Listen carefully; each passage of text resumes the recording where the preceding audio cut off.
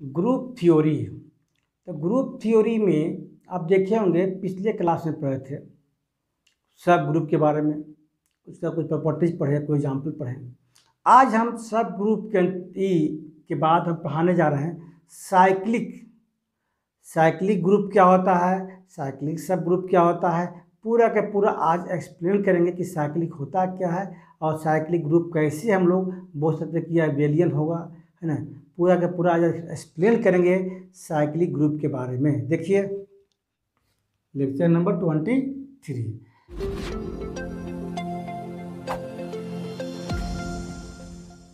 कहता है कि साइक्लिक ग्रुप होता क्या है? साइक्लिक का मतलब समझो, पहले ही पढ़े थे आप, है ना? जो रिपीट करता है एक दूसरे को ना?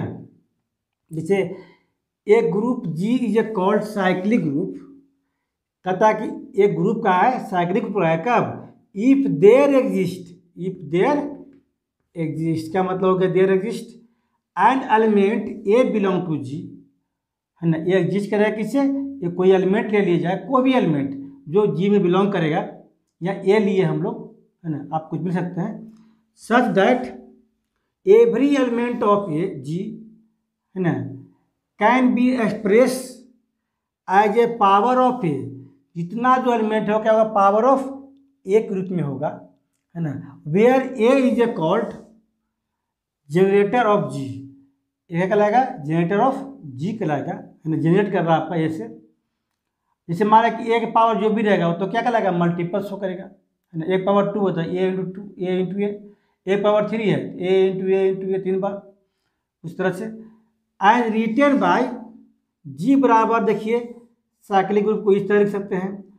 इस तरह भी सकते हैं और इस तरह से लिख सकते हैं। जो इच्छा है, तीनों में से आप साइक्लिक ग्रुप को रिप्रेजेंट करते हैं जो आपको लगे, ज़्यादातर हम लोग इसको यूज़ करते हैं, चाहे इसको यूज़ करते हैं, नहीं तो फिर इसको भी यूज़ कर सकते हैं।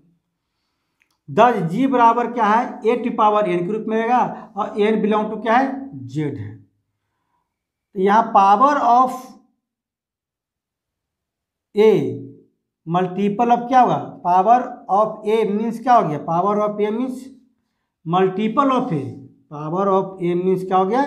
मल्टीपल ऑफ़ ए ए का मल्टीपल कहने मतलब है कि अगर एक एक पर क्या है? ए एन बिलोंग टू क्या? जेड जेड क्या है? कोई इंटीजर होता है। इंटीजर में पॉजिटिव होगा नेगेटिव भी होगा, है ना? सब का पावर कितना? वो क्या कहलाएगा वो? साइक्लिक ग्रुप कहलाएगा। देखिए कैसे होता है।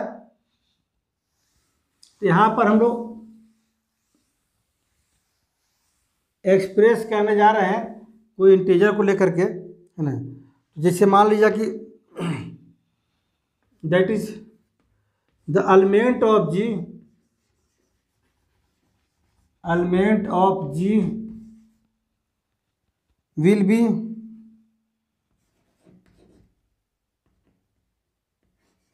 will be of the form किस फॉर्म में आएगा? देखिए तो ए के power N N belong to क्या है? जेड ए के पावर एन के रूप में होगा such that N belong to Z इसका मतलब क्या हुआ? किस फॉर्म में इसे मान लिया कि dot dot A to power minus three A to power minus two A to power minus one A power zero यानी क्या? आई एन टी लिख सकते हैं। एक पावर वन एक पावर टू एक पावर थ्री इस तरह से बढ़ते जाएगा। तो क्या इंटीजर है है ना? इसके आगे भी टर्म जाएगा, इसके पहले भी टर्म आएगा, ना? यानी कि ये माइनस थ्री शुरू कितना? थ्री कर लिए हम लोग। अब इसी को क्या हुआ? इस फॉर्म को हम इस फॉर्म में हम लिख सकते हैं, है ना? जनरेट कर सकते हैं। जैसे मान लीजिए, कुछ और भी कहता है कि सब के सब अलग अलग हो, है ना? ये कोई ज़रूरी नहीं है। एक ही एलिमेंट भी बार बार रिपीट करता है। जैसे मान लीजिए पावर थ्री के तो ए इंटू ए इंटू ए तीनों क्या होगा ए ही रिपीट कर रहा आपका। है ना? ये जो भी नहीं कि अलग अलग एलिमेंट हो, इसलिए सब एलिमेंट एक ही सकता है, नहीं तो अलग अलग भी हो सकता है। यहाँ लिख सकते हैं हम लोग कि दे आर बहुत ही बड़ा टॉपिक है। कन्फ्यूज़न सबको रहता है कि क्या लिखा जाए सेम रहेगा, क्या अलग रहेगा, है कि एक ही एलिमेंट दो बार होगा, क्या होगा, है ना? यहाँ लिख लिख देते हैं कि they are not necessary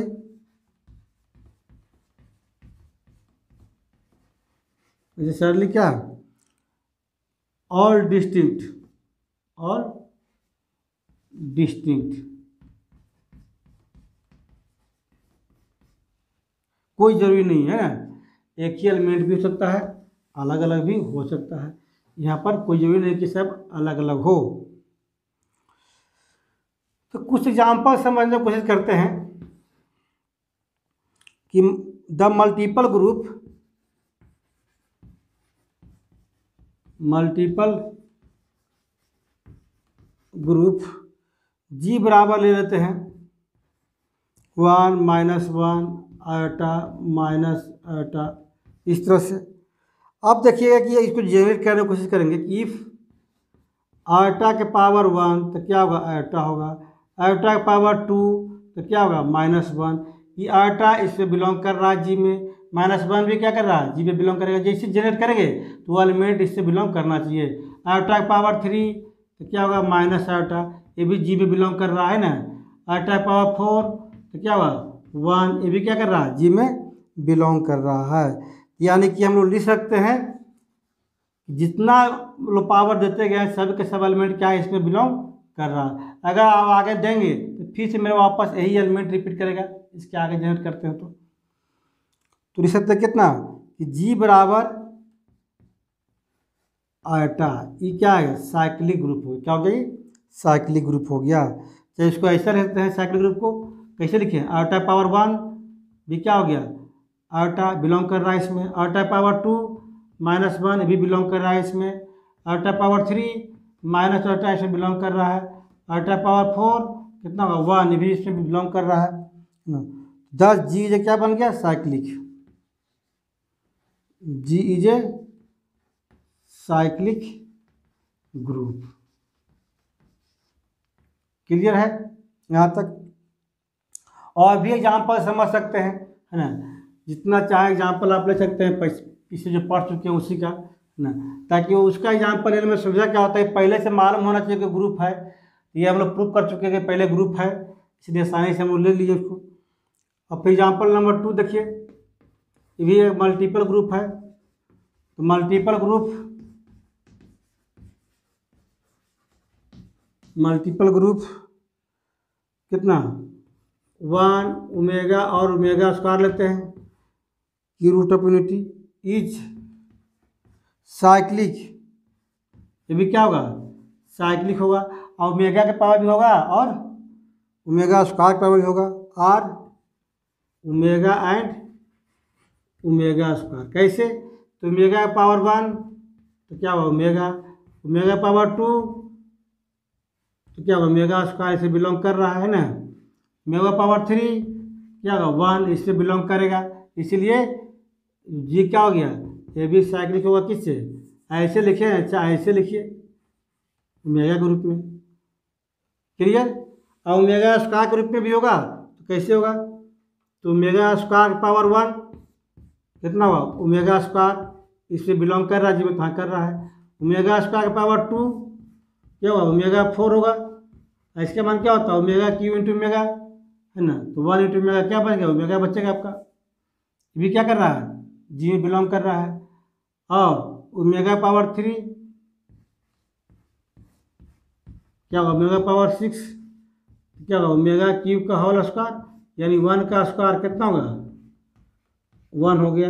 one भी क्या कर रहा है? इससे बिलोंग करेगा। मैं जितना पावर देंगे, वो एलिमेंट इससे बिलोंग करना चाहिए। इसलिए जी बराबर भी क्या होगा? ये भी एक साइक्लिक ग्रुप है। क्या है? साइक्लिक ग्रुप यानी ओमेगा ओमेगा स्क्वायर दोनों के फॉर्म में क्या हो रहा है? साइक्लिक हो रहा है। जितना पावर कर रहे हैं, पूरा एलिमेंट क्या रहा है? उस पर बिलोंग कर रहा है ग्रुप में। क्लियर है? जितना बार पावर देंगे वो पावर जनरेट करेंगे तो क्या हुआ? वो जी में बिलोंग करना चाहिए। इस तरह से हम लोग दो एग्ज़ाम्पल लिए। अब हम लोग देखते हैं प्रॉपर्टीज़ के बारे में जानते हैं इसका। प्रॉपर्टीज़ क्या होता है?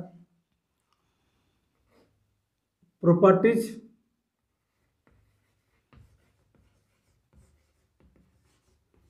properties of cyclic group properties of cyclic group पहला प्रॉपर्टी है कि every cyclic group is abelian every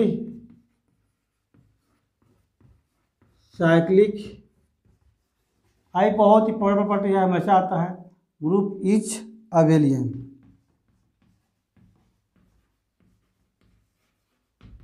abelian group इसको आप प्रूव भी कर सकते हैं। छोटा सा में ना। इसे मान लेते हैं कि लेट जी बराबर ए क्या है? साइक्लिक है।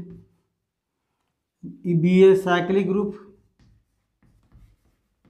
cyclic group इस तरह रिप्रेजेंट कीजिए। चाहे इस तरह से रिप्रेजेंट कीजिए।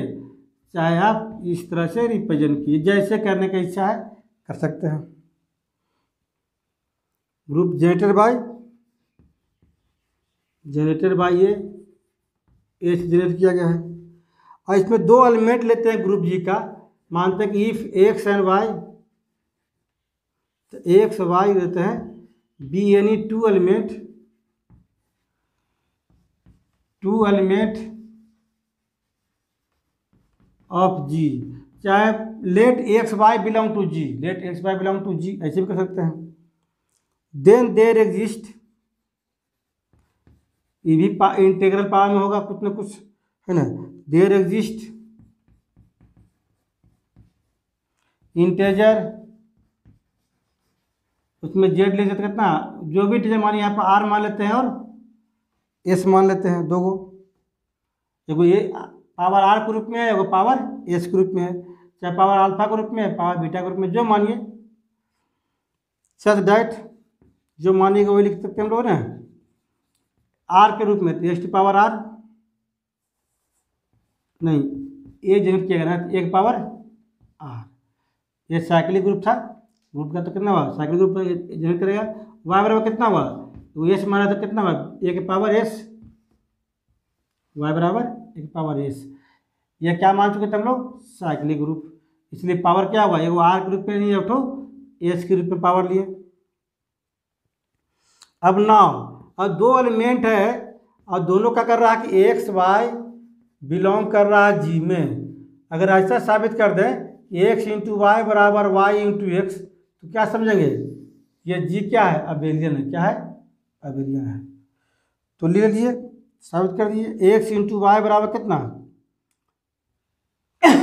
A to power R, A to power S, एक पावर कितना हुआ? R plus S.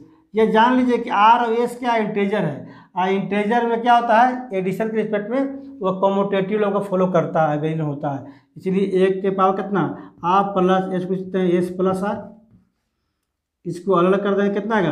ए के पावर एस इंटू ए के पावर आर तो मान कितना हो गया? ए के पावर एस के मान कितना? वाई है, इसके मान कितना? एक्स है। हम लोग क्या लेके चले थे? एक्स वाई लेके चले थे, कितना आ गया? वाई एक्स आ गया। तो क्या समझेंगे? कि यह अवेलियन है। क्या है? अवेलियन कोई जनरल टर्म लेके चले थे हम लोग यह टर्म आ गया। तो हम लोग बोल सकते हैं कि यह क्या है? अवेलियन है। एक पे पट्टी से हम लोग दिखाने की कोशिश किया कि G is abelian G is abelian अब यह दिखाने की कोशिश करेंगे, अगर जी अवेलियन है है ना तो क्या है? साइक्लिक ग्रुप है। है ना? तो कहने का मतलब कि हमको केवल एक ही फॉर्म बोला था एवरी जो है है ना साइक्लिक ग्रुप क्या होगा? अवेलियन होगा। वो इतना साइक्लिक है तो क्या है? अवेलियन होगा ही होगा। क्लियर अब दूसरा प्रॉपर्टीज़ है है ना, लिख दे रहे हैं प्रूव कर सकते हैं आप। ऑर्डर देखा जाता है है ना, कि order of a cyclic group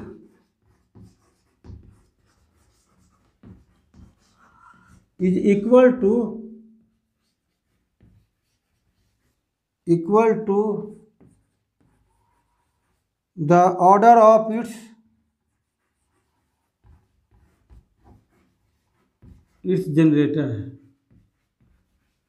अब जनरेटर का ऑर्डर निकालना है तो हमको यह ना निकाल करके क्या निकाल देंगे? साइक्लिक ग्रुप का जितना है उसका ऑर्डर निकाल देंगे। एलिमेंट गिनती कर लेंगे तो वही क्या कहलाएगा? ऑर्डर ऑफ़ जनरेटर कहला जाएगा है ना? दोनों इक्वल होता है। तीसरा नंबर है। इसको ऐसे भी कर सकते हैं हम लोग डेट इज़ कोई फिनाइट लेते हैं if a finite order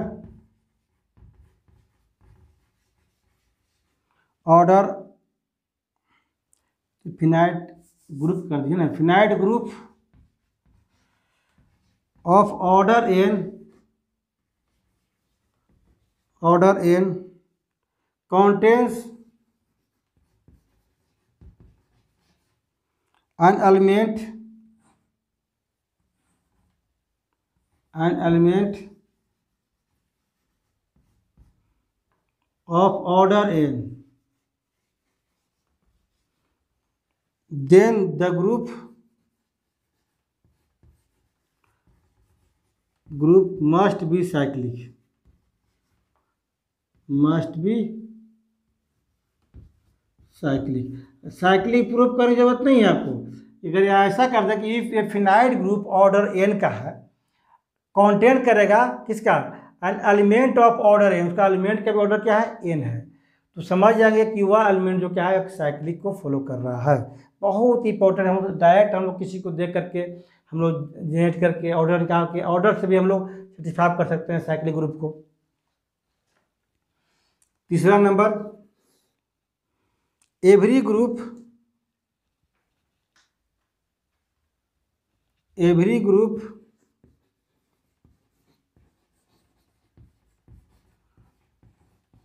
of order every group of prime order मानते हैं prime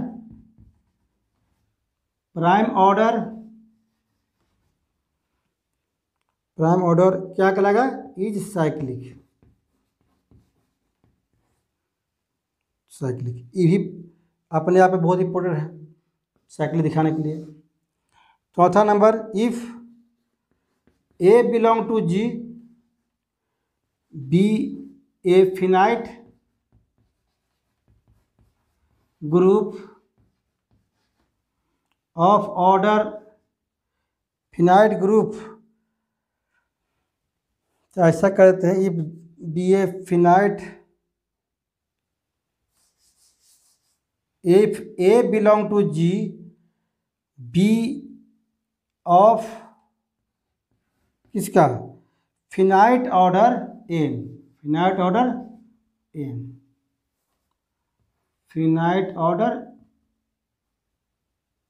finite order N इतना ना? If A belong to G P किसका है? और फिनाइट ऑर्डर एन का है। एक साथ। एंड एल्सो ये भी दिया हुआ है, ए टी पावर एम का मान क्या है? आइडेंटिटी है है ना? इसका फिनाइट ऑर्डर कितना है? एन है, यानी ए टी पावर एन जो है, आइडेंटिटी पहले से है। और दूसरा क्या ले रहा है? ए टी पावर एम भी क्या है? आइडेंटिटी है। क्लियर? पहले तो क्या ऑर्डर एन है, यानी क्या A T power N identity है? या ऑर्डर एम होगा कब? जब A T power M identity होगा। देन, तब हम लिख सकते हैं एन जो है, डिवाइड करेगा किसको? एम को। N must be divides n. यह जो है, हम लोग थ्योरम को प्रूव करने के लिए न्यूमेरिकल को सेटिस्फाई करने के लिए सब यूज़ करते रहते हैं प्रॉपर्टीज़ को। एक लास्ट प्रॉपर्टी देख लीजिए, ये बहुत इंपॉर्टेंट है। कहता एवरी सब ग्रुप एवरी सब ग्रुप पहले से मालूम है सब ग्रुप क्या होता है? पिछले क्लास में पढ़ा था कि एवरी सब ग्रुप ऑफ़ किसका? A cyclic group cyclic group is क्या होगा? साइक्लिक होगा। पहला, जो भी साइक्लिक रहेगा उसको सब ग्रुप निकालेंगे। अगर सब ग्रुप है तो भी क्या है? साइक्लिक होगा ही होगा, है ना? एवरी सब ग्रुप कितना? ना of a cyclic group is क्या कहलाएगा? साइक्लिक कहलाएगा ये भी बहुत इंपॉर्टेंट है थ्योरम। और प्रॉपर्टीज़ ये से प्रॉपर्टीज़ आप प्रैक्टिस कर लीजिएगा, है ना? तब तक इसको, है ना, डिफिनेशन और प्रॉपर्टीज़ को याद रखने पर ही आपका थ्योरम वर्क कंप्लीट होगा, बनेगा, और न्यूमेरिकल भी कंप्लीट होगा। इसलिए डिफिनेशन को और एग्ज़ाम्पल को जानना बहुत ज़रूरी है है ना? क्योंकि ये प्योर मैथमेटिक्स है। चलिए नेक्स्ट क्लास में मिलते हैं। ग्रुप थ्योरी का नेक्स्ट टॉपिक को लेकर